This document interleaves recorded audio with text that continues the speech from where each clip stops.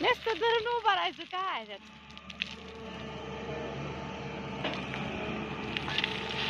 पाच मिनिटाचा काढा लावला